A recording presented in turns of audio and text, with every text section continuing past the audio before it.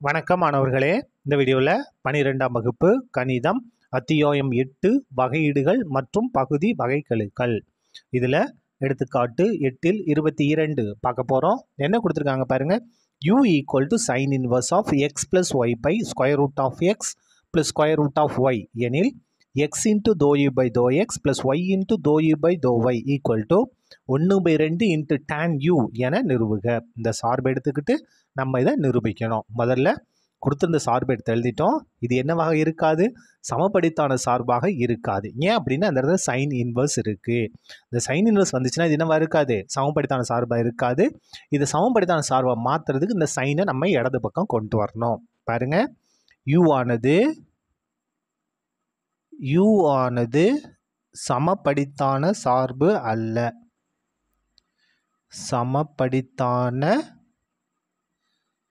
சார்பு அல்ல. இதை சமப்படித்தான சார்பாக மாற்றுறதுக்கு நம்ம என்ன செய்ய போகிறோம் சைன் இந்த பக்கம் கொண்டு வரோம். அப்போ என்ன ஆயிரும்? இன் அந்த சைன் இன்வர்ஸ் இந்த பக்கம் வந்தால் சைனாக மாறிடும் சைன் யூ சைன் இன்வர்ஸ் இங்கே வந்தால் சைனாக மாறிடும் இந்த யூ அப்படியே வந்துடும் equal to x plus y by square root of x plus square root of five இதை நம்ம என்ன எடுத்துக்கலாம்னா எஃப் ஆஃப் எக்ஸ் கமா ஒய்னு எடுத்துக்கலாம். பாருங்கள் சைன் யூனாலும் இதுதான் எஃப் ஆஃப் எக்ஸ் கமா ஒய்னாலும் இதுதான். சரியா?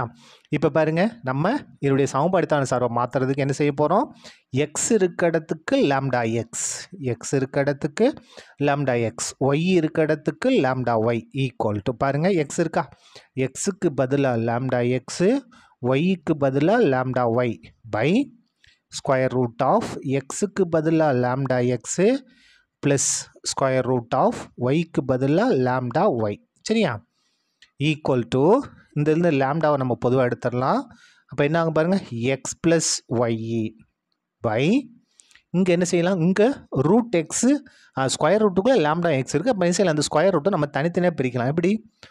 Square root of lambda into square root of x plus square root of lambda into square root of y நம்ம தனித்தனியாக பிரி பெருக்கல் இருக்கும்போது நம்ம தனித்தனியாக பிரிக்கலாம். இப்போது தொகுதியில் நமக்கு எந்த மாற்றமும் இல்லை? லேம்டா இன்ட்டு எக்ஸ் ப்ளஸ் ஒய்ஏ பை இதுலேருந்து நம்ம லேம்டா ரூட் லேம்டாவை நம்ம வெளியே எடுக்க போகிறோம் ரூட் லேம்டா வெளியே எடுத்துட்டோம்னா root of x root of lambda வெளியே எடுத்துட்டோம் ரூட் ஆஃப் ஒய்ஏ சரியா? ஈக்குவல் டு இந்த லேம்டாவை நம்ம எப்படி எழுதலாம்னா root of lambda into root of லேம்டான்னு எழுதலாம். X plus y by root of lambda into square root of x plus square root of y என்ன செஞ்சிட்டோம் இந்த லேம்டாவை ரூட் லேம்டா பெருக்கல் ரூட் லேம்டா எழுதிடும் ரெண்டு பேருக்கு நமக்கு லேம்டா வரும். இப்போ பாருங்கள் இந்த ரூட் லேம்டாவும் இந்த ரூட் லேம்டாவும் நமக்கு கேன்சல் ஆயிரும். அப்போ லேம்டா இன்ட்டு ஸ்கொயர் ரூட்னா அதை அடுக்கில் எழுதும்போது ஒன்று பை ரெண்டு. ஸ்கொயர் ரூட்லேயே அதனால் லேம்டா அடுக்கு ஒன்று பை ரெண்டு எழுதிக்கலாம். அது பாருங்கள் x plus y by square root of x plus square root of y பாருங்கள் என்ன வந்திருக்கு பாருங்கள் x plus y by square root of x plus square root of ஒய்னா f of x comma y f of x comma y சரியா? இப்போ பாருங்கள் இது வந்து என்ன சார்பு? சமப்படித்தான சார்பு. Therefore f of x comma y சமப்படித்தான சார்பு.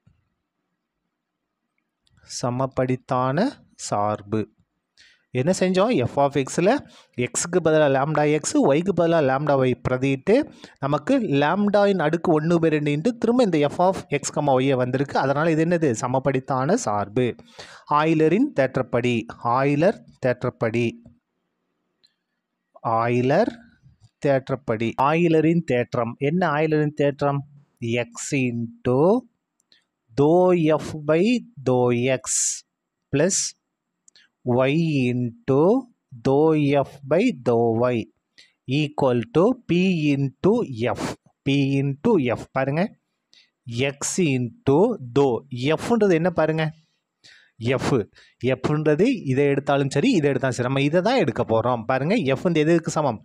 இதுக்கும் சமம் இதுக்கும் சமம். அப்போ எஃப்ன்றது என்னது? சைன் யூ எஃப்ன்றது சைன் யூ அப்போ எஃப்க்கு பதிலாக sine u by dou x plus y into dou f எஃப்க்கு பதிலாக sine u by dou y equal to பீன்றது என்ன அப்படின்னா இந்த சமப்படுத்தான சார்பில் லாம்டாவோட அடுக்கு என்னவோ அதுதான் பி இங்கே லாம்டாவோட அடுக்கு என்ன இருக்குது ஒன்று பை ரெண்டு. இந்த ஒன்று பை ரெண்டு தான் என்னது? பி ஒன்று பை ரெண்டு எஃப்ன்றது என்னது? சைன் யூ சரியா?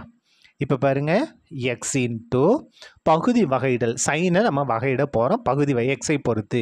இந்த யூன்ற சார்பில் என்னென்ன இருக்குது எக்ஸும் இருக்கும் ஒய்யும் இருக்குது சரியா? அப்போது சைனை வகையிட்டோம்னா காஸ் இல்லையா? காஸ் யூ இன்ட்டு யூவை எக்ஸை பொறுத்து பகுதி வகையிடல். அப்போ என்ன வரும்? D u by d x சரியா? ப்ளஸ் ஒய் இன்ட்டு சைனை நம்ம வகையிட்டோம்னா காஸ் யூ காஸ் யூ திரும்ப யூவை வகையிட போகிறோம் என்ன வரும்? D u by d y equal to ஒன்று பை ரெண்டு சைன் யூ சரியா? இப்போ பாருங்க. இந்த இடத்துலையும் காசு யூ இருக்குது இங்கேயும் காசு யூ இருக்குது அப்போது காசு யூவை நம்ம வெளியே எடுத்துடலாமா? காஸ் யூவை நம்ம பொதுவாக வெளியே எடுத்துட்டோம்னா x into two u by two x plus y into cos யூவை வெளியே எடுத்துட்டோம் two u by two y equal to ஒன்று பை ரெண்டு இன்ட்டு சைன் யூ சரியா? இப்போ பாருங்க. X into two u by two x plus y into two u by two y equal to ஒன்று by ரெண்டு இந்த இடத்துல சைன் யூ அப்படியே இருக்குது இந்த காஸ் யூ இந்த ப்ராக்கெட் பெருக்கில் இருக்குது இந்த ப்ராக்கெட்ல இருந்து அப்படியே எழுதிட்டோம். இந்த காஸ் யூ இங்கே வந்து என்ன மாறும்? வகுத்தலாக மாறும். காஸ் யூ சரியா?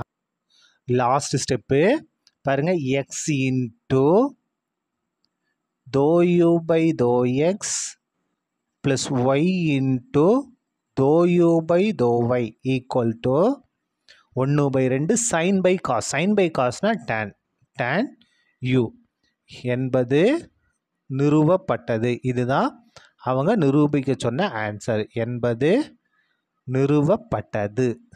சரியா? அவ்வளோதான் இந்த கணக்கு முடிந்தது. நன்றி.